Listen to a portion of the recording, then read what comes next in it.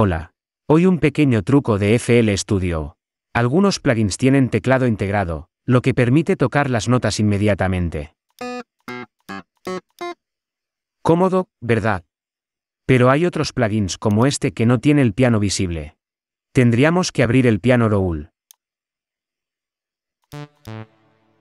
Si quieres algo más rápido, haz clic en la mano que hay en la barra de herramientas. Verás unos taskpads. Estos ya te pueden servir para tocar notas. Si quieres verlo en forma de piano, es fácil. Señala Kiss y listo.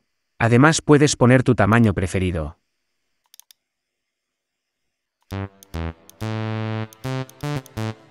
Este pianillo vale para usar con cualquier plugin que tengas en el Channel Rack.